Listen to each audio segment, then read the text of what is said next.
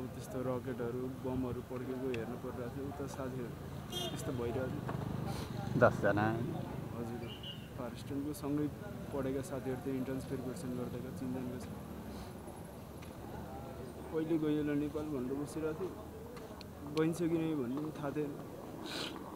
अनि आज आइयो दिदीहरू हुनुहुन्थ्यो भावुक त भइहाल्यो। नि त नि म त एक किसिमले अब धन्यवाद दिन चाहन्छु। जसरी अब परराष्ट्र मन्त्री नै वहीँ गएर हाम्रो उद्धारको लागि जानुभयो यस्तो यो सरकारले जुन अहिले गरेको छ नि यो एकदम राम्रो जुन किबुजबाट हाम्रो साथीहरू सुदूरपश्चिमको मारिएका थिए नि तिनीहरूको पछि बाँकी भएको जसको उद्धार भयो तिनीहरू उद्धार भएको एक दुई दिनमा चाहिँ इजरायलले दुई सयजनाको लास निकालेको थियो त्यही किबुजबाट भनेपछि नेपालीहरूको कमसेकम अलिकति छिटै उद्धार भएको जस्तो लाग्छ मलाई चाहिँ आफ्नो व्यक्तिगत हिसाबले। जुन समय त हामी सबै यता कादेश बार्ने भन्ने ठाउँमा थियौँ हामी लगभग अरूभन्दा चाहिँ अलिकति हाम्रो ठाउँ चाहिँ अलिकति बङ्करहरू पनि नभएको ठाउँ थियो।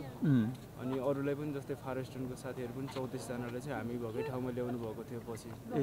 अनि हामी जे हामीलाई चाहिँ अब त्यो एउटा कोठामा बसेको थियौँ अनि त्यही कोठामा बस्ने अनि खाना पकाउने खाने त्यही मात्र थियो। अनि खाना पनि अब त्यो तरकारीहरू त थिएन त्यही अब चामल थियो।